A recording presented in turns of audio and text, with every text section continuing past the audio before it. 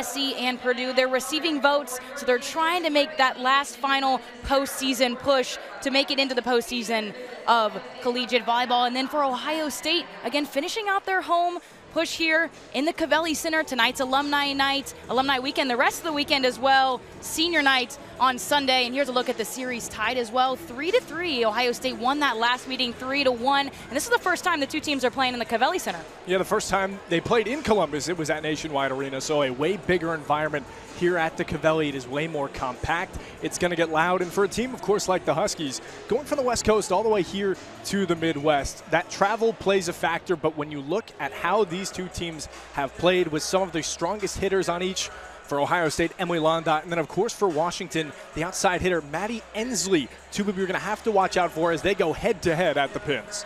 Yeah, Maddie Ensley for Washington. She, so far this season, has 256 kills on the other end. Emily Londot, a name you hear a lot here in Columbus, 444 kills. So, two, as you mentioned, heavy hitters on the offensive side to keep an eye out for. There's Londot for the Buckeyes. She'll be celebrating her senior night on Sunday. And you talk about that senior night. It's the final time Londot will have the chance to play at home as a Buckeye. And of course, you see the two matchups against each other. Maddie Ensley, the work she had put in in the Pac 12, of course, now the first year in the Big Ten. And Emily Londot has been doing it for quite a long time here in Columbus. And no real surprise that these two are spearheading the offense of both programs. Not on the offense, too, but another stat there is the aces 24 aces apiece for both of these players. So expect to see them from the service line as well. It's going to be fun. Let's get the starting lineups for tonight's matchup.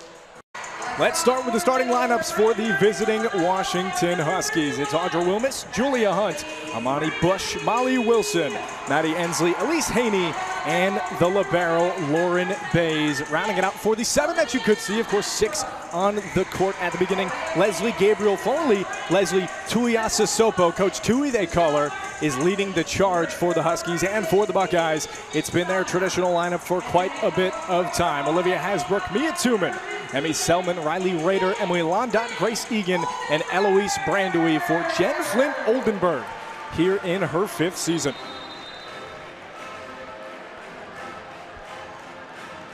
Last time these two teams played each other, Sarah, a couple of years ago, of course, we talked about it was at Nationwide Arena.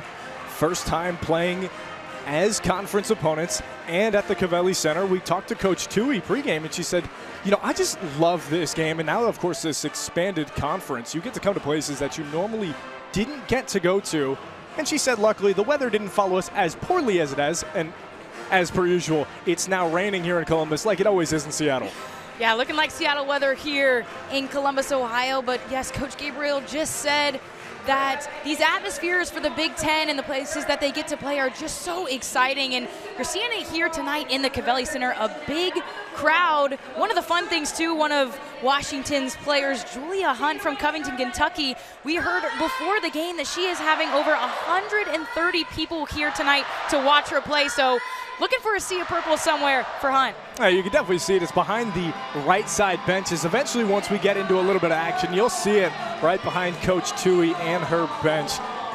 And this is the final home series of this 24 season for Ohio State. Before they head on the road to face Wisconsin and Minnesota, two ranked teams in the Big Ten that came here earlier in the season and beat the Buckeyes. Yeah, big rest of the matchup. We're scheduled for Ohio State, finishing out their homestand on Sunday against Indiana. It's also their senior night as well, which is going to be a big one. Some big names for Ohio State: Emily Londot, Riley Rader, being celebrated as those freshmen or as those seniors. Sydney Taylor as well. So some veterans that the Buckeyes have been used to on the court for the past few years. And they'll start with a freshman, Olivia Hasbrook, the libero for the Buckeyes. She's in red, the rest in white. Of course, you see the Huskies in their purple and their defensive specialist in white. Start back with Hasbrook. There's Londot. It's her weekend, and she starts too strong. Huskies with the first point. It's a rare miss by Emily Londot for the Buckeyes. She is hitting at a 229% for the season. And then we talked about these two pin hitters. Ensley, who's now back at the service line. Just the power that both she and Londot bring to their respective programs. Some of the strongest we've seen, of course, in the conference, but in the country itself.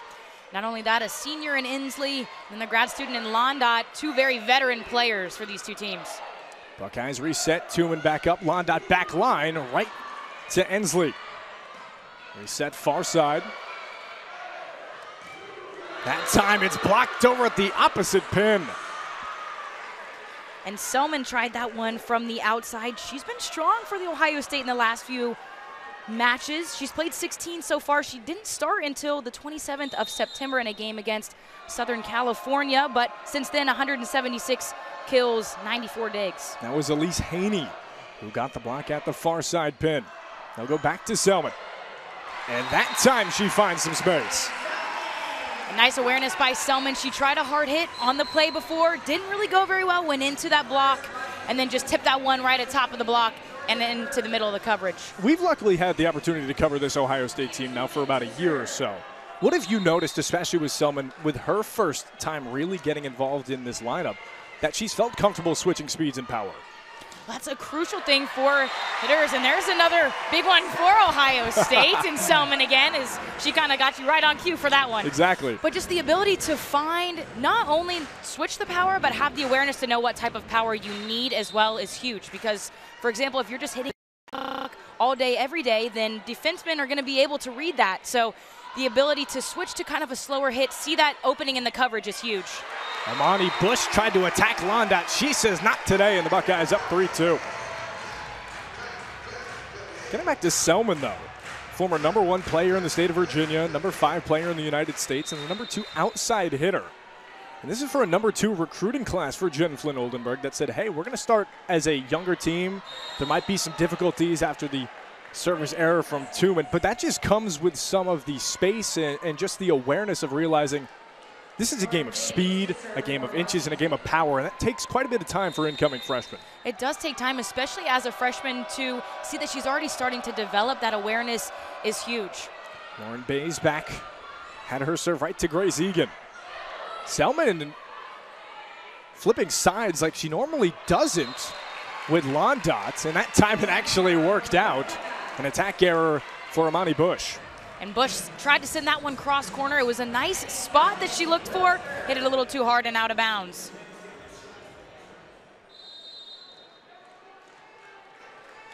Selman already with a kill in this one. It's four to three early. Misfire, but a save from Bays in the back line. Bush, did she get it off the fingers? They say she did not. Another attack error for the Huskies. That was a close one there, and not in the cross, but on the line drive for Bush, who right now is hitting in the negatives at a negative 750. Normally at a 252 on the season. 251 kills, so top three for this UW squad.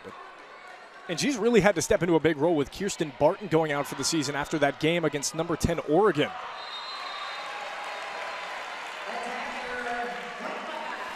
That one was Wilmes on the right side, just a little bit too far and out of bounds. And there's a lot of power coming in for this outside hitting squad for Coach Tui. Wilma's 134 kills of her own, career high 281 kills just last season. Was second on the team, but also Amani Bush getting involved. That was a nice spot by Bush. She found it in between Hasbrook and Selman on the cross court hit. It's six to four, Ohio State. Of course, set one. First to three in this set differential. Win by two as well. If it goes five, it's first to 15. Win by two. They'll switch sides at seven points. But of course, we still got plenty of time. Don't go anywhere. Slondot in the OSU offense trying to set it up, but Basil reset for Bush. And right to Tuman. Far side, Egan. Right to the ground, a good stop from Bays. They reset Egan. That time, she finds the corner. And a nice spot there by Egan. Hit the cross court just on the line. But you do have to credit that defense as well for Washington, that first big hit by Egan to be able to get the dig and back over for the rest of the volley. And they're bringing in Zoria Hurd as well, the Texas A&M Corpus Christi transfer, who played in three sets in their most recent match against Northwestern, and the Buckeyes get a service ace. It's this first service ace of the match so far. And Coach Tui wants to take a timeout as the Buckeyes are up four early in set one on Big Ten Plus.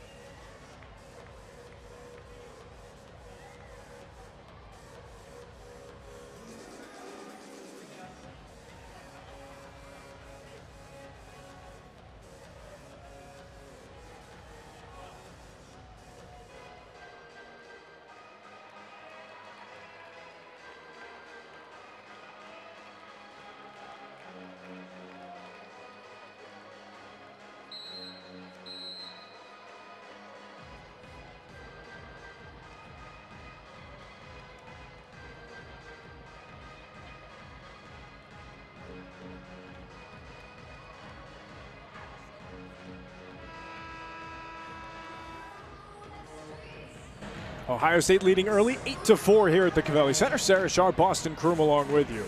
And partner, this is going to be a game of power against power. We talked, of course, about Maddie Ensley, but Amani Bush.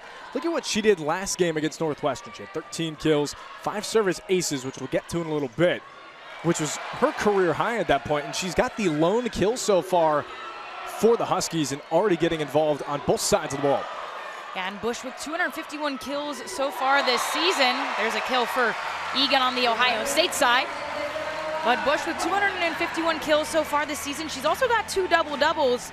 She missed last season, 2023, with a shoulder injury, but in 2022 was all Pac-12 honorable mention, and she's picked right back up in the 2024 season. It is still so awkward to see a school like Washington now in the Big Ten. Of course, last just as soon as last year, they were in the Pac-12 along with a bunch of other schools that went into either the Big Ten or Big 12. And that time, Bush gets one off the arm of Tuman. Bush there with the second kill for Washington, the only two kills for the team. But yeah, it has been a shift from that Pac 12, and that was something that Coach Tui had talked about too. The time difference is something that they have to take into account coming to play here in Columbus. I know most people think about it when you talk about that time difference in football, of course, because that somewhat rules and runs collegiate athletics.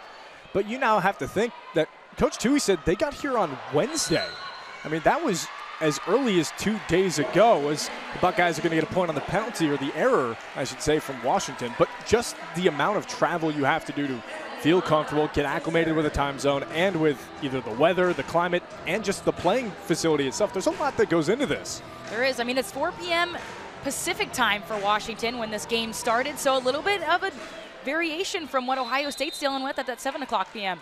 I mean, that does make it a little bit easier going, I guess, from West Coast to the East Coast, or at least in the Midwest in this sense. And that's a great service ace from Londot. And Londot, who we talked about before the game, had 24 service aces, so there's a 25th for her on the season. And it was a head-to-head matchup against Maddie Ensley, who came back in just for this rotation. She went out for Zoria Hurd. Let's get it back in after the Londot serve. Wilson sets it up, and a Buckeye block stops it again. It's Brandewie. Brandewie and Egan on that double block for Ohio State. That's their third. Is up by seven. Still, of course, plenty of time to go in this one. Washington, they're receiving votes at 19 and 7. Ohio State at 12 and 14. Different tra trajectories for both of these programs. We even talked about it a little bit. Ohio State just trying to end on a high note. Coach Flynn Oldenburg said, hey, we realize that our chances of the NCAA tourney are somewhat out the window at this point, but you want to start and end in similar fashion. You want to end on a high note. Against this Washington team, and then you mentioned the two other strong teams they have to play afterward. And again, not a lot of pressure for Ohio State. Just come out, perform, and see if they can do their best.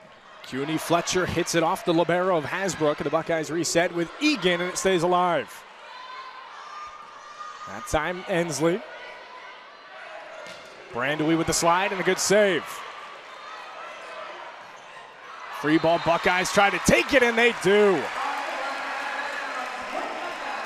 And a nice fight at the net by Ohio State. At first, it almost looked like Ensley got her hand on it, was able to get it onto the Ohio State side, but out of bounds, and the Buckeyes are on a 4 0 scoring run. And you've seen some of those free balls that they go up, and it's really a waiting game. Is it going to go the way of hitting the ground for you, or is it going to even be on your side of the court that you are able to make contact with it? That time, the slow touch from Julia Hunt, the middle blocker, as she gets her first kill. And those free balls are so crucial because if you're a team and you send a free ball over the net, that gives the opposing team a lot of opportunity to use that to set themselves up well, or if it's close enough to net, get a nice attack on it immediately. Well, that's also why it's so important to get out to an early lead, which luckily the Buckeyes have done so far in this one. But the way that UW has really propelled themselves into the Big Ten trajectory in the standings they're somewhat middle of the pack at this point. But there's still so much time. But when you have service errors like that and you give it right back to the Buckeyes, it does not help the flow and the rotation sense. And that's a huge mistake here, too, just because Ohio State is up by so much right now. So any point counts for the Huskies, like that error as well. When you flip it over, so from service error for the Huskies to service ace for the Buckeyes and Egan. 15 to 6, Ohio State leading at home. The in set number one.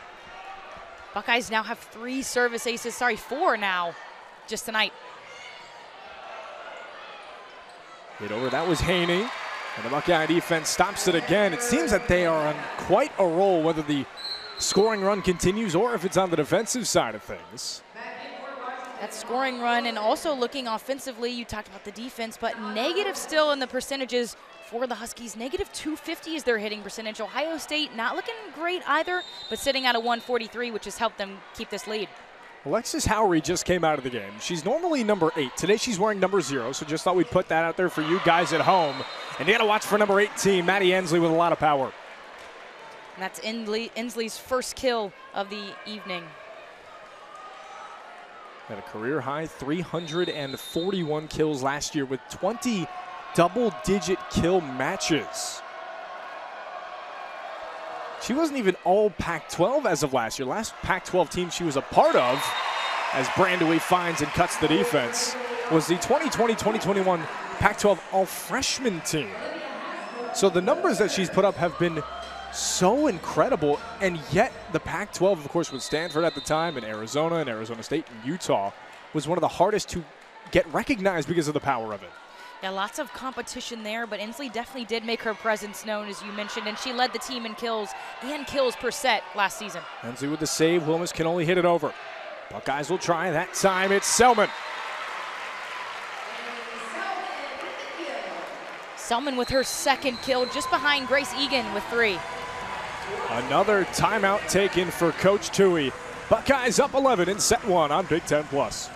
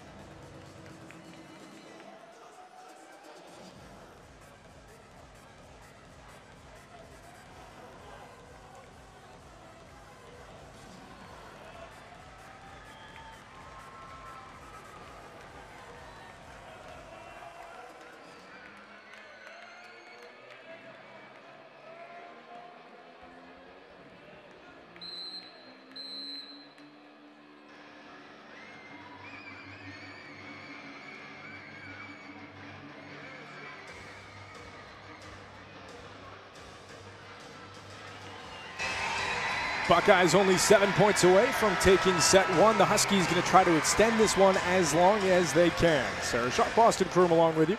Thank you for joining us on if you're in the Columbus area, it's probably rainy. If you're in Seattle, a little unsure of what the weather is, but probably also could be raining. It's but a good bet. Yeah, it's, it's pretty warm here, at least in the Covelli Center. And you can see both teams trying to play with fire. Buckeyes finding it at this point. They're up 19 to 7. Almost with the attack error on the outside there, keeping that Huskies hitting percentage in the negatives. You don't see that too often for teams under Coach Tui. Hasbrook will start back again. Gets down to Bays, the libero, flip it back up. Haney saves it, and the Buckeye defense is ready. Egan back line, too much power. A difficult hit there for Egan in the back row, and then Selman tried to set that one up off of pass, but just a little bit out of tempo, and the Huskies took advantage. If you're Washington, how crucial is it to get Ohio State out of tempo?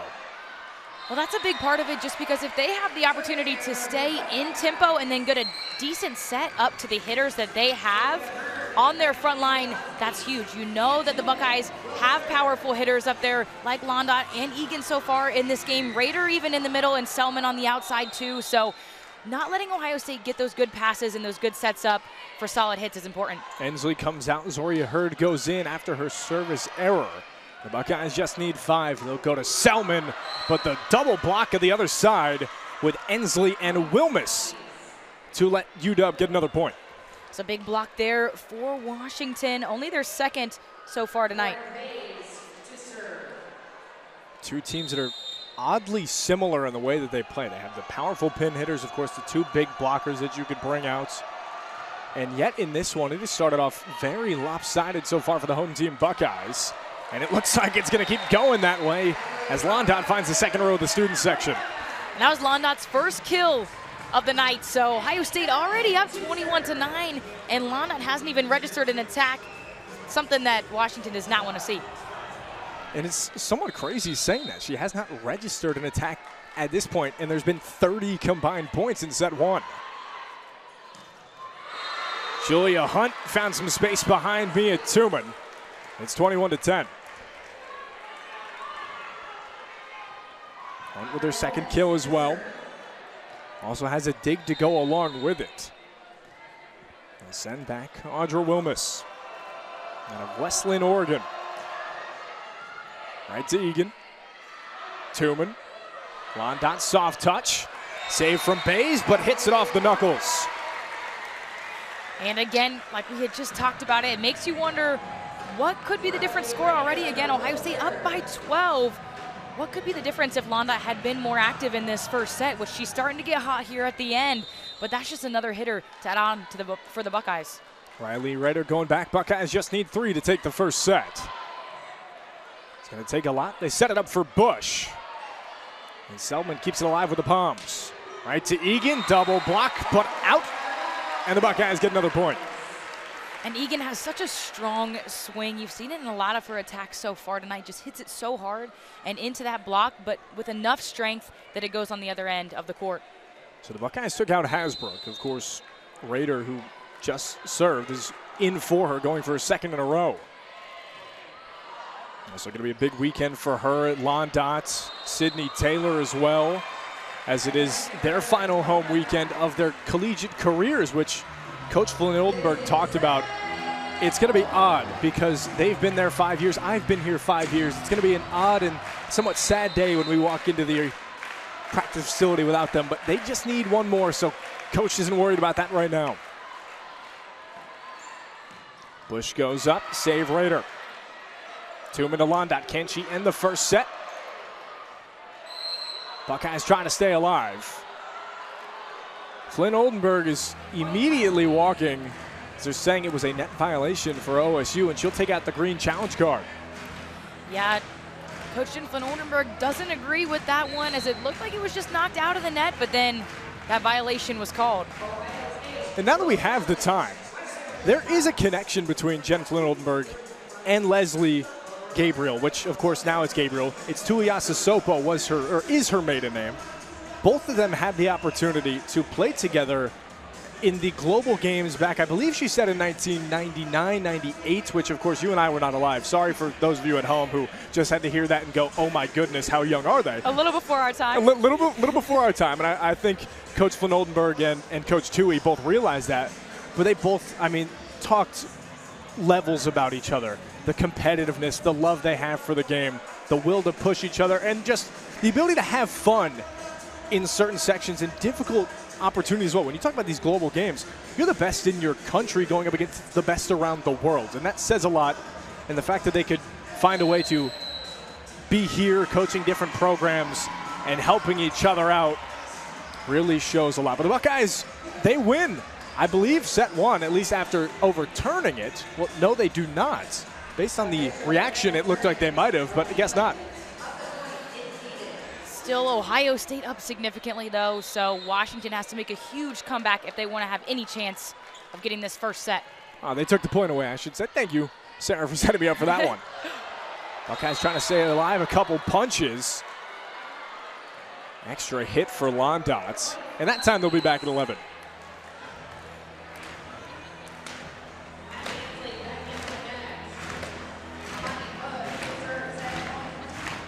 Monty Bush with the student section right behind her. Buckeyes just need a point to take set one. That's the top of the netting. Buckeyes will try it. Londot, she's got it. Set one goes to OSU.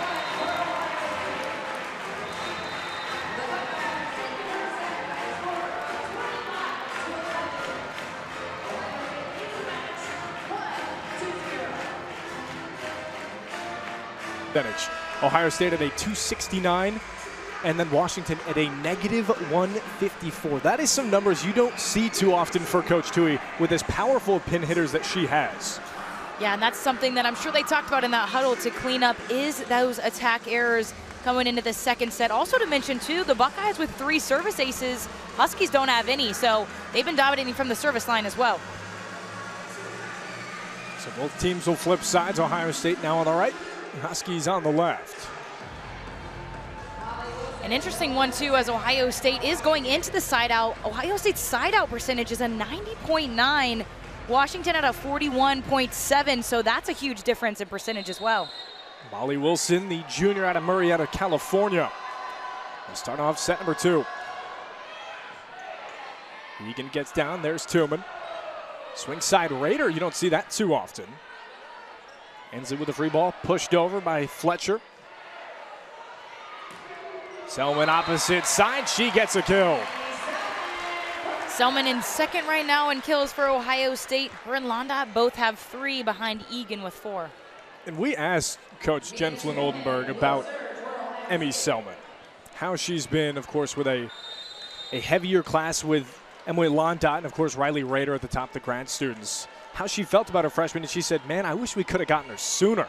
First time she played was September 27th at USC. And when you can have her out there, that's the kind of flow you see. The Buckeyes will get service aces. You can run her on either pin. And you have to look at her height as well. She's six foot four on the outside. She is, which is also big for a block as well. So you'll see her go up there on the net. But you mentioned too just her ability to play on both sides of the ball. She can hit from the right side, she can hit from the outside, and that's huge as well. She tried to set up Egan, got her hand two on top of it right into the netting, and the Huskies have their first point of the second set. That's a rare miss for Egan so far in this game. She's hitting at a 333 percentage. And ever since they got her back from that hitch where she didn't play for a little bit of the season, re aggravating the injury from last season, she's been looking very comfortable and confident on the floor, and that time it's a service ace for Maddie Ensley. Getting back to her and Londot going head to head on those aces. Yeah, Londot and Ensley back to tied at 25. If it ain't broke, don't fix it. Why not keep her back there? It's 2 2 in set two. Ensley Selman had it off. Londot tries it. Whistle blown. I believe they're going to call for a reset. A towel from Molly Wilson got onto the playing surface, so they have to blow it dead and they'll redo the serve. Yeah, that's not something that you see very often. I don't think I've actually seen that in the two or so years I've been covering Ohio State volleyball on Big Ten Plus, just any of their games in general. I don't believe I've ever seen anything like that happen. You even had time playing. Have you seen that happen in your time? Um, I haven't, but also I don't see a lot of players who have towels to keep with them when they're playing, but I can see how it could be an advantage as well. Selman goes up top and off the fingertips.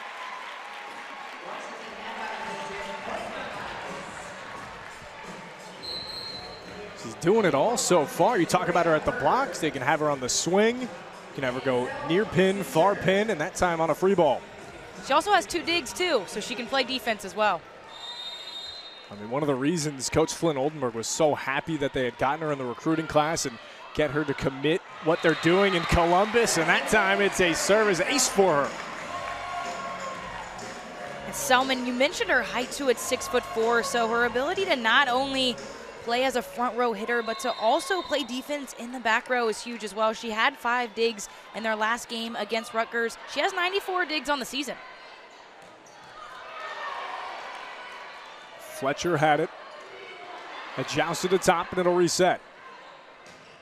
Bush flips sides. That might hit us. And that's a point for Washington. Bush did a nice job hitting that one in between the blockers, who are Rader and Londot. The setup for Lauren Bays as she'll go back to serve. A 2021 Pac 12 All Freshman team.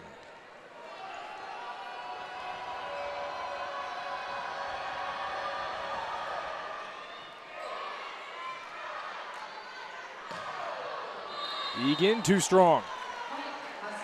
That's the second time that we've seen Egan struggle with that cross hit a little bit from the outside, hitting it with a little bit too much strength, not enough snap of the wrist to keep it in bounds. And you talk about the difference between the strength and just the, the wrist location. Does that play and have more of an impact than most people think on a swing? Does, like, I would say the location has a difference because you have to move your wrist to where you want that ball to go. And it's a lot more difficult if you're an outside hitter to try to hit it cross because you're shifting your entire arm than it would be to hit it line. See, it's, it's some things you, you don't necessarily think about in that sense. And that's when you look at teams that can switch what side of the pin that they're playing on as well. So for Selman, something she's got to think about. Egan, something to think about. Londot, something to think about. And then, of course, Ensley on the other side and Amani Bush to go along with her. It does, and you don't really realize it. There's Londot with the line drive from the right side, but a lot of times for a hitter who's hitting on the right side, it's probably easier to hit a cross ball because you're able to cross your arm with your body. It kind of goes with your momentum a little bit better. But when you're hitting from the outside trying to hit a cross, it's a little bit more of an uncomfortable motion because you're twisting your arm in a way that you wouldn't really naturally as much as if you were hitting it from the right side. The 6'2 grad student out of Louisville, Riley Rader with the setup. Strong hit over from Fletcher, but the Buckeyes keep it alive. Egan will try from about six and reset after Bays hits it. Over the middle, Julia Hunt, the middle blocker with a lot of pop. And that was a nice kill there by Hunt. Not a lot of middle action from either of these teams offensively wise. So that's one of the first middle hits that we've seen in this match. I was going to say, the one kill that Brandewie has it's been that traditional slide that she does to the far side, and they get her to just find that paint right in the middle but you can't use it too often because the defense will start to realize it. And maybe that's why she only has a single kill so far. And that is where you commonly see Brandewie from the offense is on the slide and hitting it from the right side, which throughout the season maybe hasn't been as common because defenses know to read for that, that that's her common place that she's going to go for that attack. And what you just saw there is the MO for Emily Londot. She's going to face you. She's not afraid to go against a one-on-two on the block. She'll hit it with a lot of power. But then she can go back and serve and one of the best in this OSU roster as well. Just punched over from Brandewie. Try back Bush. Met at the top for Brandewie and Tuman. But out of the reach of Egan.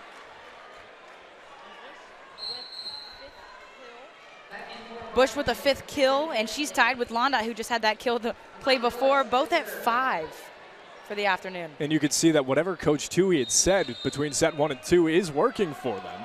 It's now only a one-point game as Washington's going to try to keep it with Bush. A line drive just over the top of the tape. Wilson set up. Ensley push, reset again. Selman with the southpaw touch. Stayed live on the volley and the Buckeye block. Egan and Brandewie have done it again.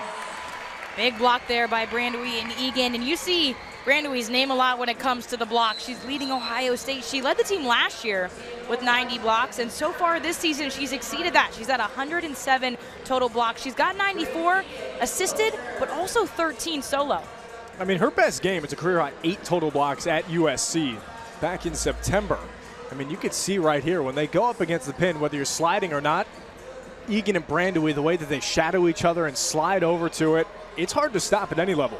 And she had eight blocks in that game against USC, but also total blocks against Miami in September as well. So she's been hot this season. Uh, that Miami game was something. The Covelli was jumping. It was the first home game for Ohio State of the season. And the crowd intensity has stayed true, and so is Audra Wilmes jumping out of the gym with that kill. And that was a nice hit by Wilmes, especially from the back row to still get that wrist snap and good attack. Wilmes joining the kill party with the Huskies. It was only her first of this one. Amani Bush with five, Julia Hunt with three. And then Wilmes and Ensley have a single one of their own. Tuman tried the fake pushover. Trying to keep it. And the Huskies strike back Molly Wilson. And the Huskies are evening things out in this second set, now tied with Ohio State. Both have four blocks. You even talked about that block differential at the beginning. And as it slowly starts to get closer, Ohio State getting a little closer in attack errors as well. 10 for the Huskies, now 11, but Ohio State with seven. So something to just think about when getting closer to it. Yeah, that service error there for the Huskies is their third. So just as you mentioned, things getting a little bit closer, and that's why you're seeing a closer game in the second set. Yeah, the attack errors, the service errors. The hitting percentage back at zero for Washington for the first time, as at least in the positive side of things, and they'll get it back up too. And trading service errors are the two teams, but again, looking at that hitting percentage, they're out of the negatives at that flat zero, but Ohio State also not hitting very well either at an, a 186, so low percentages for both teams. What is the side out percentage telling you currently? It's getting a little bit closer than what it was when I mentioned it before the second half, but it's still Ohio State at 50 compared to 23, and that's a big differential. Or sorry, I'm looking at the wrong percentage, but 50% for Washington, 76 for Ohio State. Still, that's a big differential for the Buckeyes that they're leading inside outs, which is just showing you that they're playing better defense off of those serves. Tuman back to serve after she got some support with Egan along with a kill. It's 10 to 9 Washington. Odd one off the hands of Barton. We have seen her now for the first time since the 30th of October against Oregon. And another service ace for Ohio State. They just keep getting further and further away from the Huskies in that percentage. Now they have six as opposed to one for Washington. That's also a big piece to have back. Barton, who, like we talked about, did not play since that matchup against number 10 Oregon. She played in five sets and had 20 kills. Yeah, that's uh, been a huge missing piece for the Washington offense. You mentioned that she had 20 kills in that last game, also nine digs. And for the season high, she had 22 kills, so she is a big offensive player, four double doubles this season. And it's good to see her back for these Huskies team. Off the odd side of the hand for Fletcher. It's an attack error, and it's 11 10 OSU. It seemed that at that point, after that game against the Ducks, that Barton may not be available for the remainder of the season, and yet here she is, and a big piece to have for Coach Tui, and a very important stretch of the season. And Rader strikes the floor. Yeah, that was a huge missing piece, offensively and defensively. She can play both ends, so that's been a big missing part for the Huskies team as a whole. But Riley Rader getting active for the Buckeyes there with her first kill of the night. Ohio State on a 4 0 scoring run. Tried it for Ensley. And off the top of the block, and it's still within one. Ensley collecting her second kill. Amani Bush returns to the match. Amani Bush coming back in for Kierstyn Barton. So it seems that Barton, the few chances she'll have in the rotation, will probably be very crucial ones in the middle of a set, which you may not think about when this is all said and done because of what the points could be. But playing very important minutes as Emily Londot keeps doing what she's been doing for four straight seasons. Another big one for Londot. But yeah, Barton came in. She played some defense in the back row and then was switched back out in the front row for Bush. So it'll be interesting to see what type of role Coach Tui has her play tonight. Londot six kills on 11 swings. Someone right behind her with four. She's back at the service line. CUNY Fletcher with the most recent swing and off the shoulder of Lauren Bays. See the face of the Buckeyes on that one. Even they're a little shocked at that power. A big hit there by Londot, targeting the libero too for Washington. Her seventh kill. She's hitting at a 500 percentage right now. And keep it going. Selman hot from the service line, her second ace. Timeout taken for Coach Tui. She has taken three to Ohio State's zero timeouts so far through these two sets. We'll step aside. Ohio State up by four.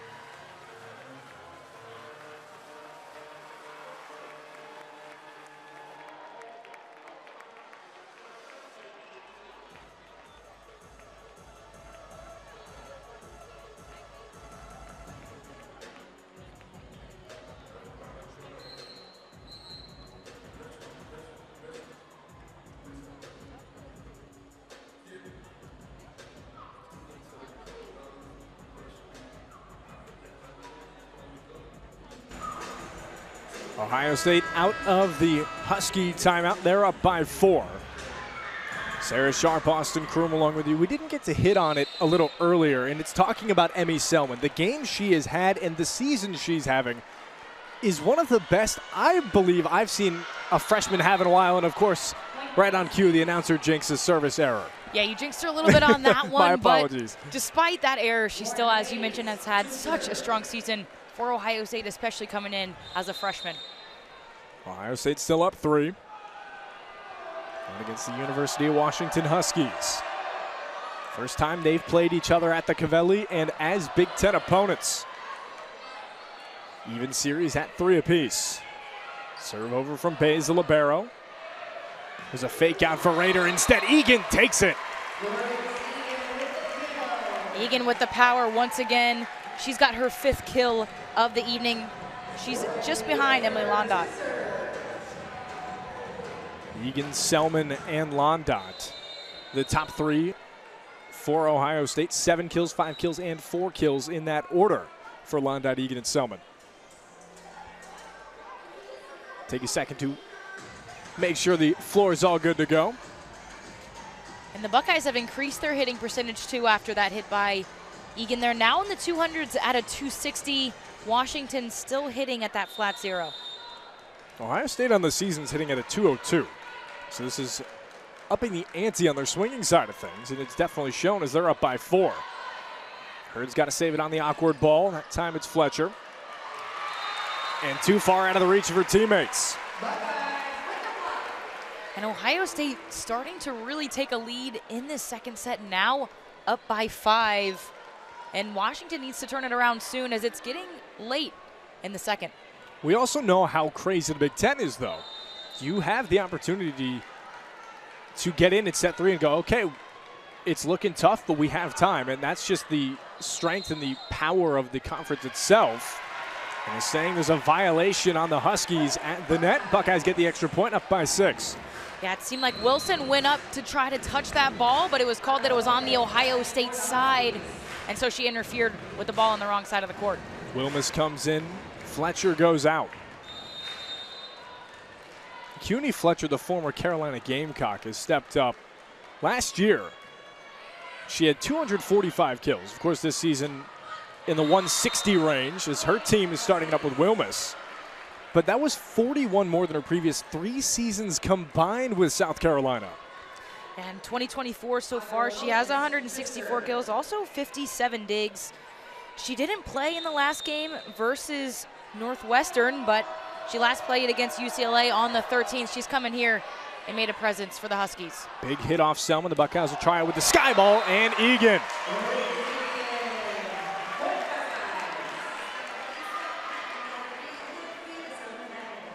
Egan's playing like she's on a burner today. Yeah, she's had a big game for Ohio State, and when you put her and Londot together on opposite sides of the pins, that's a dangerous front row. Speaking of Londot back, it's 19-13 in set two. Bush met with the blockers.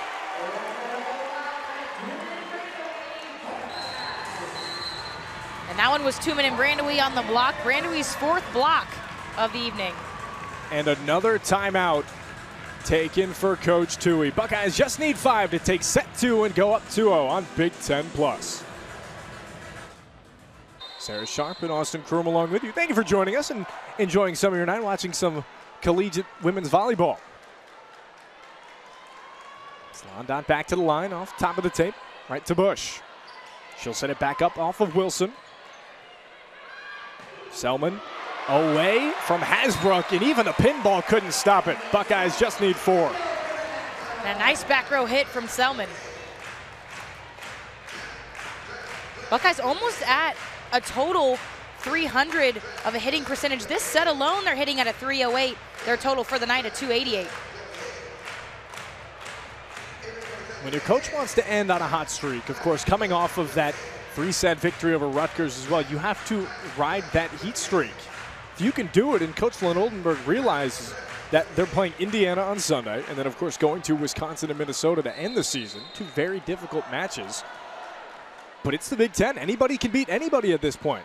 And the Buckeyes have been hot lately. They've won four of their last six matches, and they're looking good here tonight against Washington. They're 12 and 14 on the season. Washington at 19 and 7, trying to get that 20th win, and Julia Hunt's trying to help them.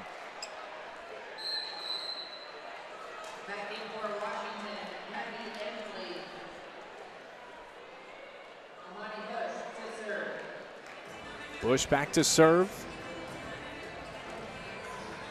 It's a seven point lead for Ohio State. And the Huskies came out closer in this second set to begin with. It was within one, and then Ohio State so far has pulled back into the lead.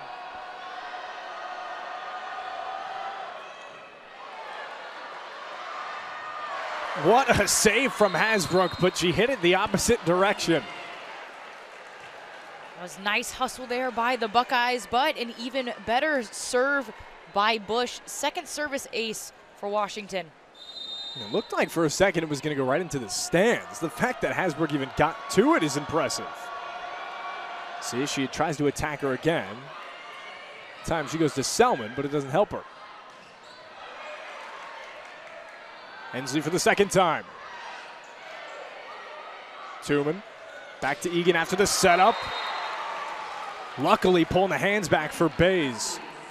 Ohio State not happy with that one. They seem to think that there was a touch on the hit, but the point goes to the Huskies. Keep working it with Amani Bush as well.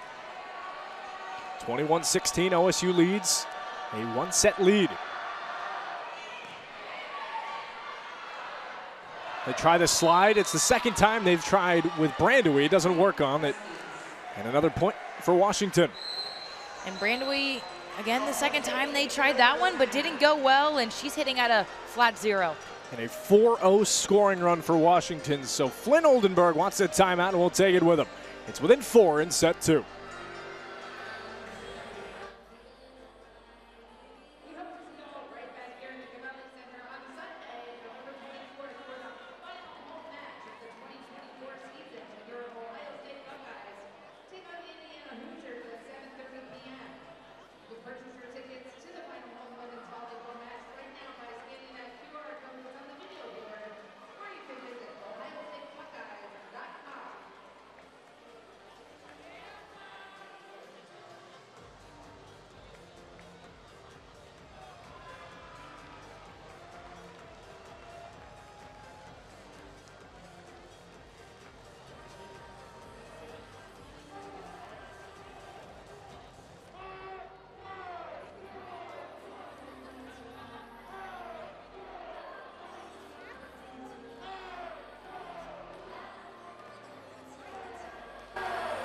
Ohio State up by four against the Washington Huskies in set number two. And there is Coach Leslie Gabriel. Of course, Leslie Tuiasosopo is her maiden name, Coach Tui. It's her second season as the head coach of the Huskies. See her record there as well, but she has been invested in this program. One of the slogans of Washington is wear purple, bleed gold. And she has sure done that. She's been a part of this organization and the college itself for her entirety of her collegiate playing career. One of the best middle blockers in Pac 12 history. And when talking to her pre match, she said, Hey, you know, I love it here. You know, of course, everybody I know. And when the job opening was first posted, Coach Flynn Oldenburg called her and said, You got to take this job. It's in your blood to do it. And here she is just a couple years later at the helm. Yeah, and she mentioned when talking to Coach Flynn Oldenburg that she had said that there's just nothing like coming back to the school where you played as well because you know that atmosphere. You have been in it before. And she just said that she's been here for two seasons now, just with Washington and loving it. The two seasons at the helm, she has been an assistant in this program for quite a long time 10 plus years. And the block between Wilson and Hunt will set it back up within three. Tuman somehow saves it. The only thing they can do is reset to get back in system. That time slide with Hunt, and she strikes again. And the Buckeyes were looking strong, but struggling late in this second set. A 6-0 scoring run for the Huskies. It's those adjustments you make, even if it's a 45-second timeout. There's a lot that can be said with your rotations, with how you want to set up a defense, and especially when you have incredible serving from Amani Bush back to back. And there's a service You've error. been jinxing them all tonight. I've done it, what, is that twice, three times at this point? It's something like that. And this game getting closer now despite that service error. And they were down 13 to 21. It almost looked like Ohio State had this second set sealed. But you have to give a testament to this Washington team to bring this set closer. I mean, they were doing it in the Pac 12 last year. Talked to Coach Tui, He said it was a down year. It's 16 and 15 in total. But the year prior in 2020, they won 2011 and made the NCAA tournament. So it's a team that knows what they're doing. It's just sometimes seasons happen, and that's just what really goes with the pendulum swing of collegiate athletics. That's the biggest thing for this team right now. They're trying to make that postseason run, and you never know. Ohio State up right now, 23 to 19, and this would be a big loss for the Huskies if they don't get it against Ohio State. The Buckeyes are trying to stop it, and you can clearly see it. The way that they have been tapped in. It's that connection that you play for a full season. You hope it hits at one point, and here it is. Huskies got to try to do it. Two tries for Ensley. Soft touch for Brandewie, and the Buckeyes need another point to take set two. And one thing that I've noticed is Ensley is struggling with the block on that outside. There's been a lot of touches by Ohio State on the net against her attacks. The final timeout taken in set two for Coach Tui. We'll take it with the Buckeyes just need a point to go up two sets to none.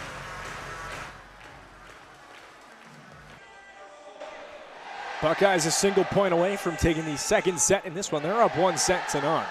And as much as the players on the court have been dominating, it's their woman at the helm, Jen Flynn Oldenburg, who's been leading them now in her fifth season with Ohio State. And Jen Flynn Oldenburg with a total record of 88 and 52, a 629 as her record with Ohio State. One of the many alum that are recognized tonight, 30 plus Ohio State, mainly the 2014, which we'll hit on a little bit more later. As Egan's going to try to get the final point in set two. Buckeye rotation going back to what they started with. Same with the Huskies. Wilson, Hensley, save from Hasbrook. Selman tries to get it. Hensley and Tuman on the joust. Hensley again off the shoulder of Londot, and they stay alive and bring it within four. That's snapping a 3-0 scoring run for Ohio State. Now that side out percentage. You have to take a look at 67.7 for OSU and 43.8 for UW. And it's huge here for the Huskies to stop the side out by Ohio State as one more point and they'll take the second and go up two to nothing in this match. Julia Hunt back to serve with the script Buckeye logo. Odd free ball. Tuman just tries to push it and the defense stops him. Ensley finds right in front of the back line. And I mentioned right before that timeout that Ensley had struggled with the block against Ohio State. A lot of her balls getting touches on the Ohio State block, slowing those down, making it easier for the Buckeyes to dig those up. But in that one, she found the nice opening in between the Buckeye block. Four kills now for Ensley. Hasbrook slides with a save. Londot, Selman on a reset. Wilson, Ensley right in front of Selman. UW still fighting. It's within two. That is a player that the Huskies need to see more active as she grabs her fifth kill. Ohio State, rightfully so, takes a timeout. They want to stop the 3 0 scoring run of Washington as set two is getting closer on Big Ten Plus.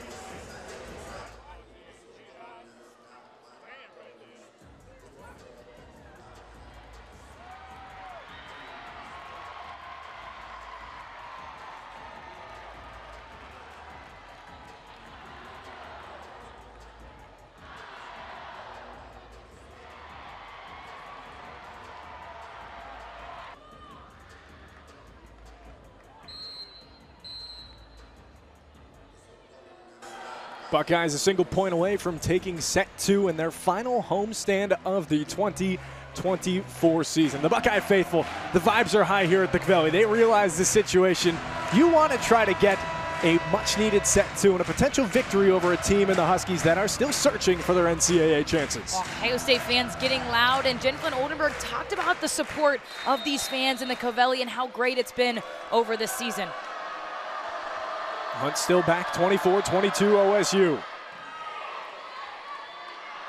Tuman line, dot into the stands. Buckeyes take set two.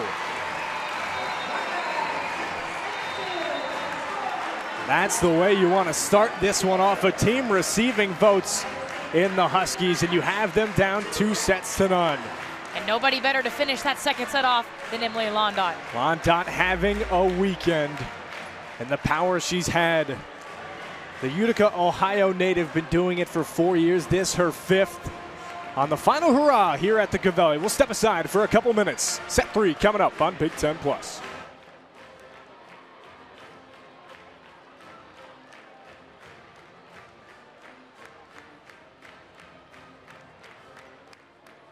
Plus alum came out in between the two sets, and the crowd cheering a couple thousand plus with some of the best names to ever wear the scarlet and gray.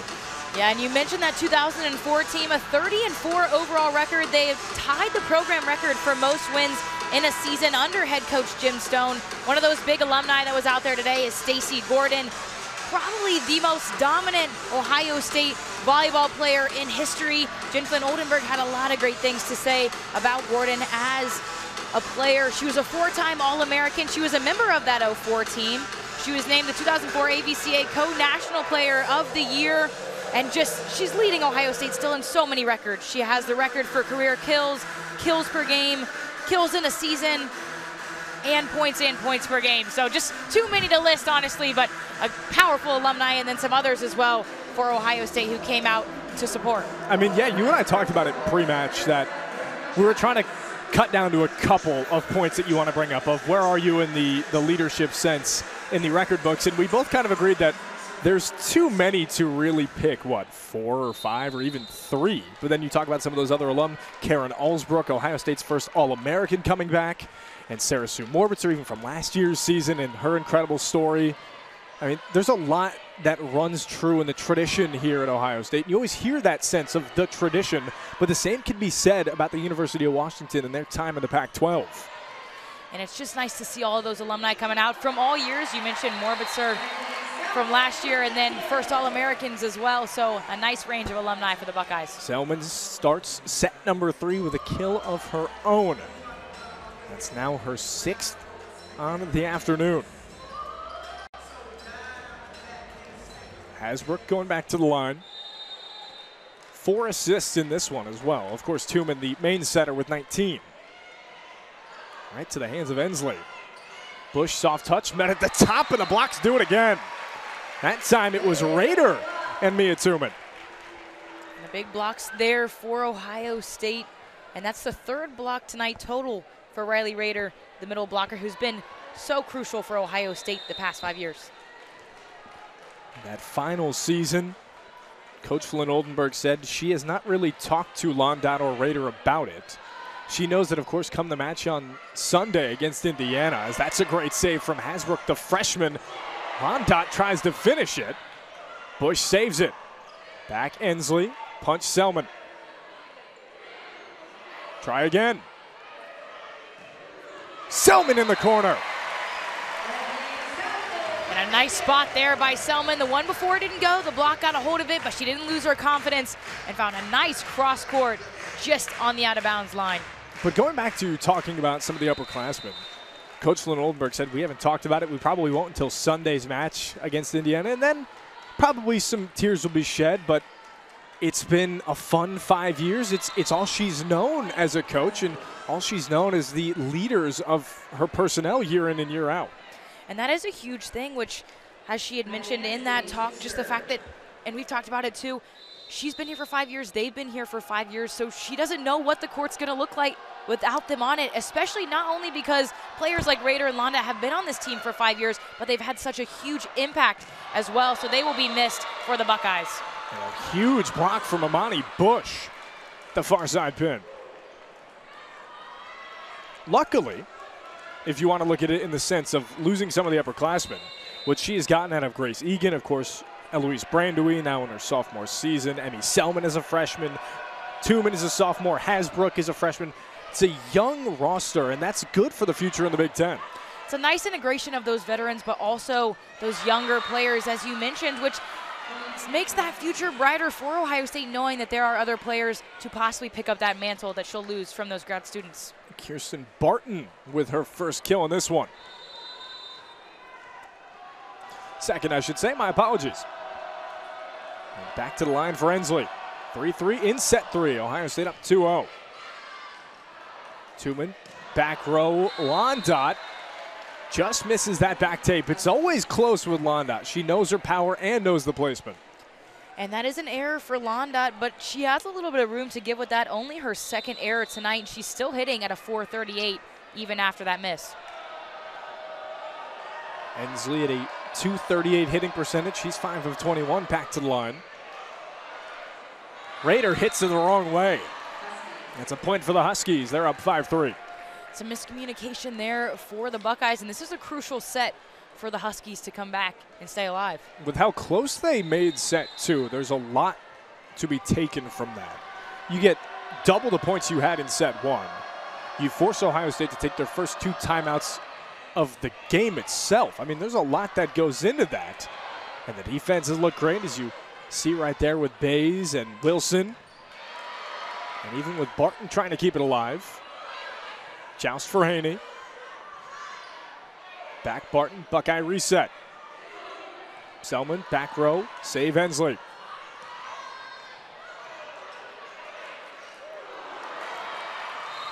That miscue between Egan and Londot gets the Huskies another point. And again, that miscommunication between Londot and Egan. Ohio State looked more off tempo, off balance in that last volley in the last few plays beforehand as well, which you have to think is probably part of the reason why Washington has this three point lead in the third set. You can also see the, the connectiveness already. Coach Tui is playing very close to her far side. Just barking out signals. Of course, she, the former middle blocker of the Huskies when they were in the Pac 12 in the late 90s, early 2000s. One of the best middle blockers in Pac 12 history. So she knows all about the rotational pieces, about playing defense, and staying connected when those volleys really go back and forth for, you know, what, seven plus hits or so? Can be difficult to stay in the game and keep your head in the game with those long volleys because it's easier to get lazy. Selman hits it off the arm of Molly Wilson. And a little bit of confusion on that Selman hit.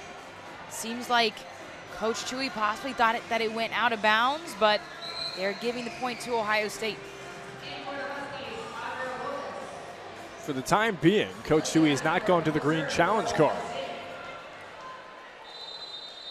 Audra Wilmes back in for Maddie Ensley.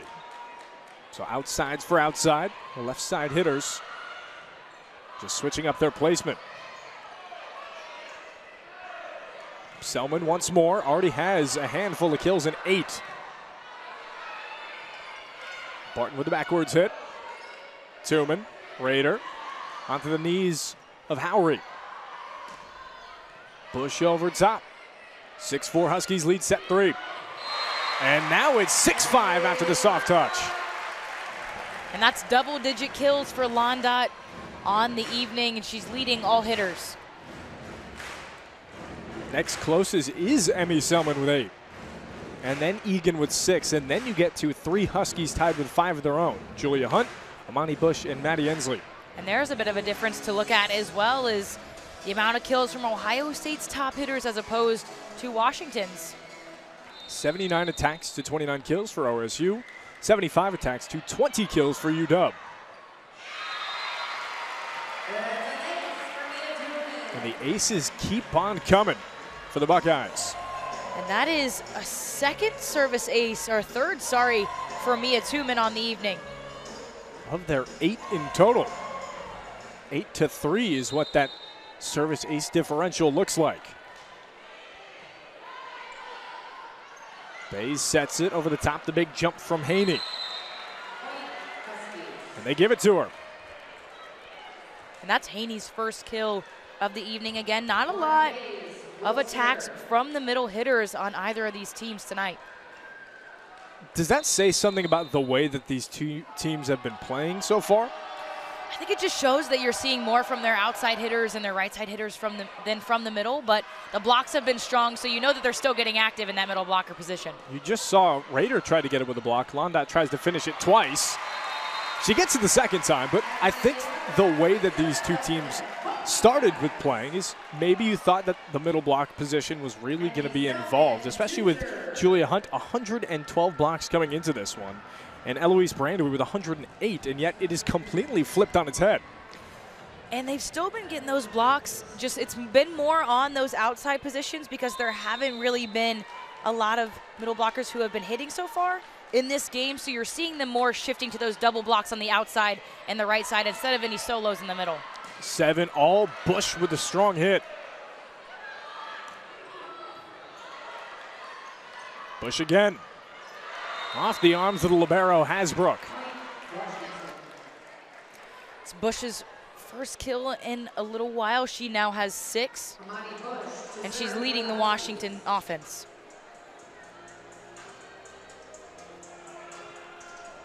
This is an offense that, for Washington, started very slow. Of course, the 11 points in the first set, 22 in the second. Now, this set looks very picturesque to set number two, which can tell you a couple things. One, the adjustments have been made for both teams, and that it will probably get down to that wire to wire ending we saw in set two. You read my mind because I was thinking the same thing. This looks a lot reminiscent to the last set. So that's going to we're going to have to see a difference on what Washington's going to do in this third set because they started out a little bit more with the momentum starting out early in the second and then let Ohio State come back and get the lead. So, what adjustments are they going to make in this third to possibly take it? Use Barton. That's got to be the adjustment so far in this one. A lot of people thought she wasn't going to even play for the remainder of the season after her scared injury against Oregon. And yet she's now coming in here and at a point of necessity she's looked as strong as she always has in last year's 2023 Pac 12 all freshman team member. She's been crucial. Zero errors on eight attempts. She's got four kills. She's hitting at a 500. So not only is she getting those numbers up, but she's hitting clean as well. But the Buckeyes and Egan keeping it close as well. That's something to look at as well, too. Barton, who came in late into this game, but already has four kills. Again, Bush is leading for the Huskies with six. And then you have Hunt and Ensley with five, and Barton's right up there. So she's coming in and she's making a presence quick. Set a 50% on the hit percentage as well. She's four of eight. And another service ace for Ohio State as Ensley can't keep the can on it. And that was a rare miscue by Ensley on that serve receive because she does have 93 digs so far this season. She can play defense, but just didn't quite get low enough on that platform to get a good dig up. She's got four in this one as well. So she's been on both sides of the ball. But this Washington team, also the ones that they have a lot of power, they do that quite often as the attack errors because they are so outside heavy under Coach Tui. Sometimes that comes with the potential of being so powerful. And a lot of power on that one for Ensley. Not quite able to get it low enough to stay in bounds, but she's been hitting a lot. She's got 22 total attempts. Only five kills on those attempts, though, at a 182 clip. Bays with the save to start it off. Back to Ensley. And Hunt right in the middle. We talked about the lack of mid use in this one and just the free ball for the freshman out of Covington, Kentucky. And that one all set up by that nice attack by Ensley that went just right over the net for Hunt to execute. There's that attack by Ensley to set it all up, and then Hunt with the kill. It's got to feel great as well to have most of her family in attendance as well. It's only about a two-hour drive from Covington, Kentucky, so very easy, especially compared to going to Seattle, which, let's be real here, that's not really drivable. So I mean, but then again, that's kind of a Midwest thing to drive everywhere on vacation instead of take a flight. That's I, true. You, you could, I, I, think you could agree with me more on that one, but it's got to really feel nice for Julia Hunt to have her family behind her. And you can see her playing like that. She's got she's leading that Huskies team still with Bush at six kills. 12-10 Ohio State leads. That's the Egan kill, and that time, watch your eyebrows. Ensley fires it right back. And that's exactly what the Huskies need. They need her to start heating up on that outside. We talked about in the first set how crucial it was going to be for the Buckeyes to get Londot. And on the other end, it's Ensley, those two veteran players for both teams. And the reaction time you have to have to even make contact with the ball is pretty impressive in its own right. Egan starts it. Tuman, Selman. Egan saves and the Buckeye reset offensively. Barton saved it right behind her, Ensley. Selman, the freshman, met by two blocks. Tuman right back to the freshman. Off three fingertips of three different Huskies. And Selman had a few tries that didn't quite go, but you can tell that she's starting to become more comfortable and more of an experienced player because those two those few opportunities that got touched by the block and didn't quite go for a kill didn't shake her and she pulled off the kill on that last one. Selman is within one of Londot to lead the match in kills. Selman 10, of course, Londot 11. And then you have Grace Egan with seven. And then beneath that, it's Tuman and Brandewie with two of their own. And Tuman is an attack heavy setter. You don't see that too often, especially when looking at some of the roster, like with Molly Wilson as a setter. She's got nine total kills. Tuman coming into this one has 38. And that's what makes her so sneaky too, is you never know when she might do that trick play where she pushes the ball over without looking and gets a point. And talk about that push down. Amani Bush just did that right to Tuman. Normally it's over the middle when she gets to do it. We have not seen it today. But we definitely could. She's been prone to do it at least twice to three times a match if she can find a seam in the defense. That's what makes it hard for the defense is you have to be aware of her having that play in her pocket. Londot flip side after Selman. They say it hits out of bounds after going off the arm of Barton. Londot with her 12th kill on 23 attempts. She's hitting so clean, a 435 percentage. She also has seven digs, a block, two service aces, and an assist. So she's filling out the stat sheet. 14 to 12, Ohio State leads set three. Almost got the head of one of the assistant coaches, Michael Brunston. Bush tried to save it with the punch. It's a service ace for the Buckeyes, and they just need 10 to take it. And Mia Tuman now with four service aces on the evening. She's been hot from the line. Another timeout taken for Coach Tui and UW, and we'll take it with them. Ohio State up 15-12. And you called that one for Londot, a nice cross-court kill to the corner. 16 to 12, Ohio State leads. They won the first set 25-11, and the second 25-22. Now on the start of a 3-0 scoring run.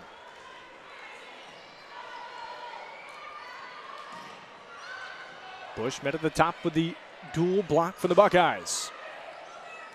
That time pushed over Barton. Selman to try again. She got Barton out of system, but keeps it alive. Bays has a punch of her own, but too late. This is even more so starting to look like that second set. Ohio State pulling away with the lead. They're on that 4-0 scoring run, up five. But then on the flip side of that, Washington at one point went on a 6-0 scoring run. So something to keep in mind as it's now in this midst of it all. Eight points away from OSU from taking this match against Washington.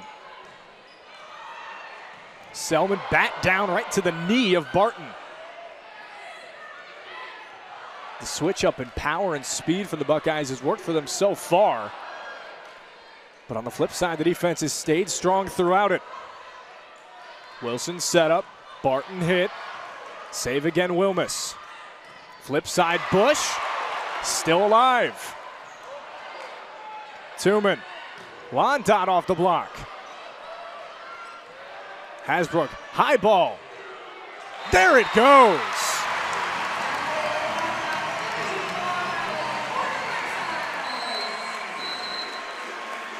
Timeout, Washington.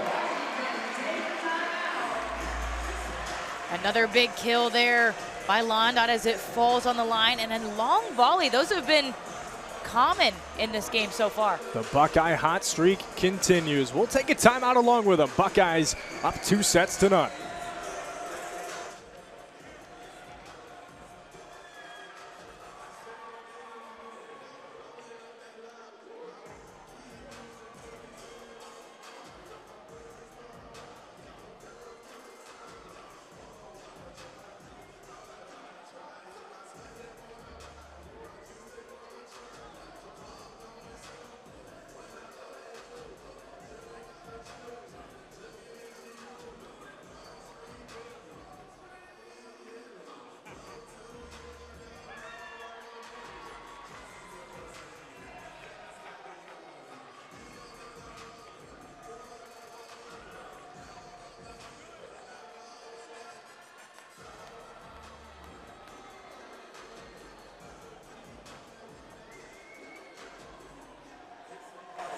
Back out of the break. Buckeyes up by six, 18 to 12. Sarah Sharp, Boston Crew along with you, and the rest of the crew here in Columbus at the Covelli Center. Grace Egan has had herself a game.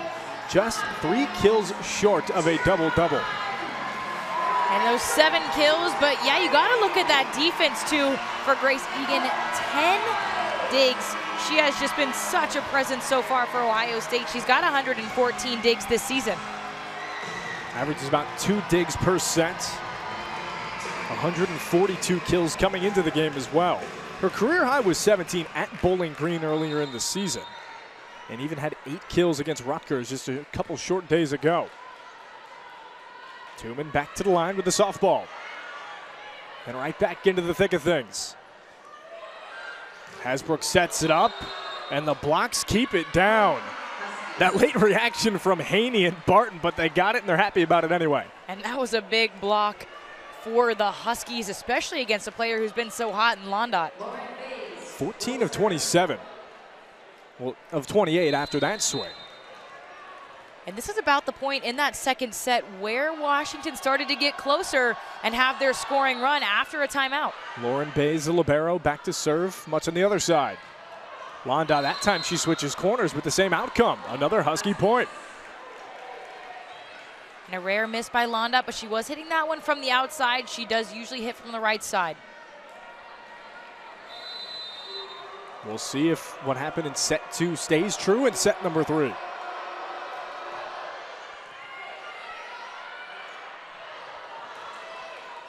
Reset Wilson. Barton tried it, couldn't buy it. Buckeye point.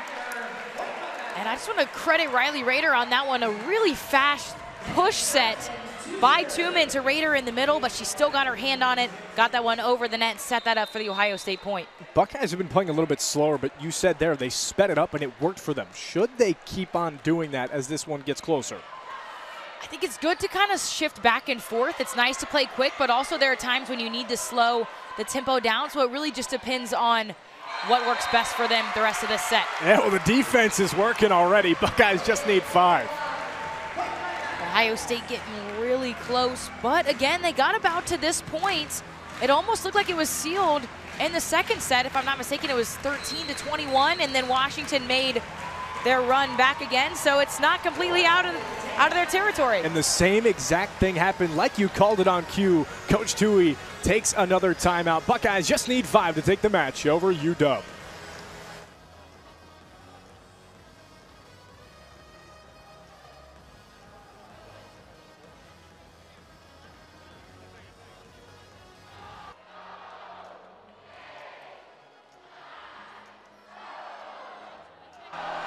Buckeyes only a handful of points away from taking this third and potential final set. We're going to look at the remaining schedule for Washington. They go to Penn State, then USC at home and Purdue at home.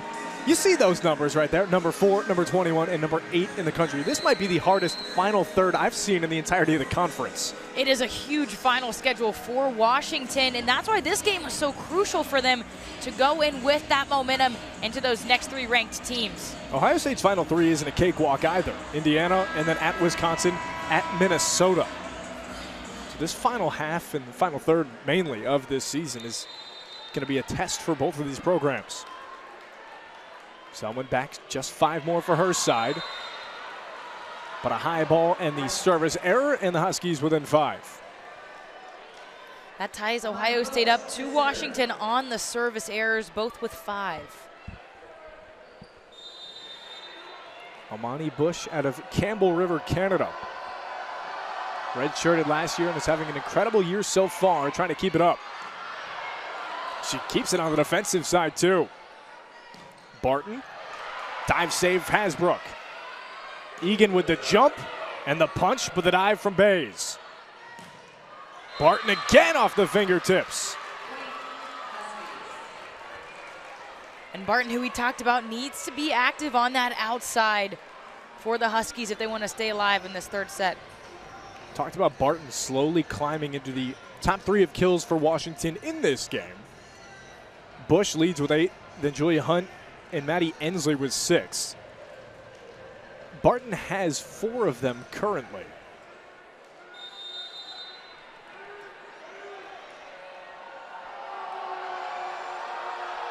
Bush to keep this one going. Buckeyes going to try to win the side out.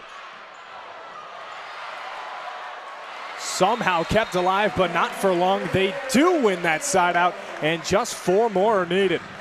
There's an example of getting those middles active.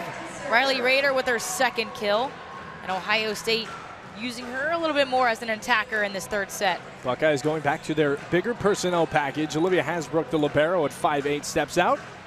Rader at 6'2", the middle blocker, steps back in as the serve specialist. She looked good earlier in this one. Much of the same will be expected. Wilson set up. Barton back to Rader. Tuman with her own. And a soft touch. Sometimes she doesn't need all that power if she gets the same outcome. Great awareness by Londot. Saw the opening in that coverage. And again, like you said, didn't really need to hit that one hard, but just found where the opening was, and it was effective. If you're Coach Tui now in this, you could see arms folded, walking back and forth. She's pacing, realizing the situation her team is in, still itching and clawing only towards the NCAA championship and, of course, the, the Big Ten tourney hopes as well. And again, this is an atmosphere that this team is not used to, so you have to credit that into their possible struggles tonight. But Barton has looked like one of the glimmering lights for this Huskies lineup so far, coming in basically halfway through the second set and has now solidified herself as she's found her footing. Audra Wilmes, who started, has mainly found a little bit more time in defensive positions. And Barton with her fifth kill, again, just inching closer up there to the top for the Washington team. And then now you have Ensley back in for the Huskies as well on that outside as Barton moves to the back row. Do we potentially see a change as well? Zoria Hurd, we saw her in earlier, the backup libero out of Rowlett, Texas. Can we see her in a potential spot where they need the defense to start? I think it kind of depends on how the rest of this set goes because they don't really have a lot of time to be making a lot of adjustments. So unless she really thinks it's a last minute effort possibly to bring in Hurd. Looks like Tui, Coach Tui that is, is going to stay strong with her line. Buckeyes two away. They do have Ensley push back a little bit farther on that defense as well to help. Londot service, but it's an error. Flip it back to the Huskies and they get the point. And now UW is also going to their bigger package. They take out their libero, Lauren Bays, and bring in the middle blocker, Elise Haney. And the Buckeyes flip on their side. Their libero comes back in, Hasbrook for their middle blocker and Rader. That's just a possibility. Hunt, too, is serving right now. So once she's done with her serve rotation, she'll most likely come back out for their other for their libero to come back in. And you called it. You called it exactly as it's happening. And the Buckeyes just a single point away from keeping this sheet clean and sweeping the team out of Seattle. The Covelli crowd on their feet for this possible match point. Service error by Egan, 24-19. It'll stay put. Two late service errors by Ohio State, so they're lucky that they have a cushion in this third set. We've seen the Huskies go on runs in this one. At one point, a 6-0 scoring run, and Molly Wilson is going to try to do it here. Tuman. Londot will try to end it, and she does. Big time power from the grad student starting her final home weekend, and the Buckeyes sweep the Huskies. And no better person to finish that off for Ohio State than the grad, Emily Londot, with her 16th kill to finish off the night in a sweep for Ohio State. This was a big game for both. Ohio State coming in, you needed to keep the heat going.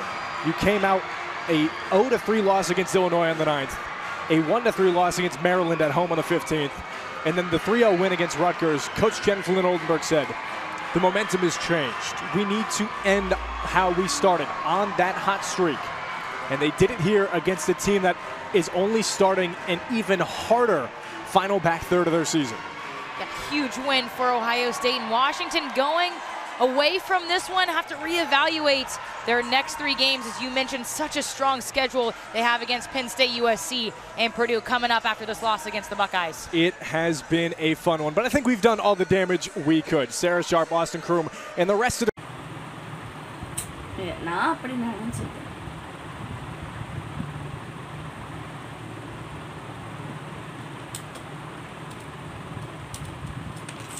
Mouse ವರ lock ಆಯ್ತು வர அப்பப்போ lock ஆகிட்டு இருக்கு எரிச்சல் நேராவது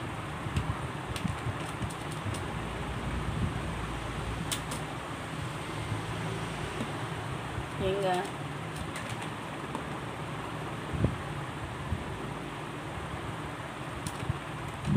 நீங்கள் ச- நீங்கள் சாவுங்க நான்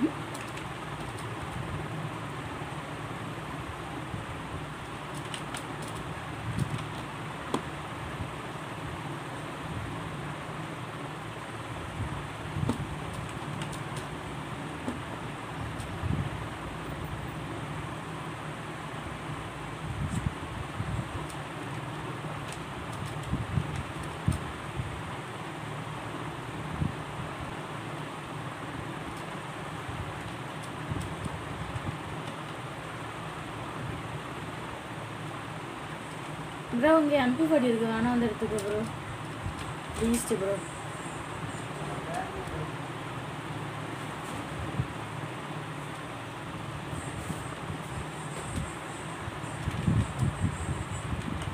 ஸ்கேர் லெவல் ஒன்று எஸ்கேஎஸ் இருக்குது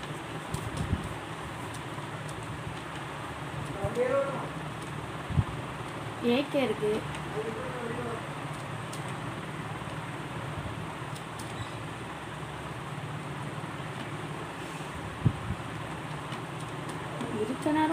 பிறகு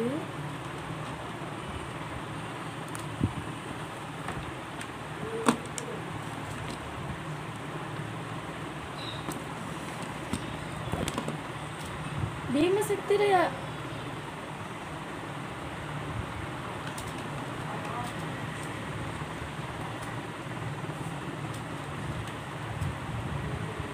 బ్రో బ్రో యారాధన ಗ್ಲೋ ಆಲ್ తా బ్రో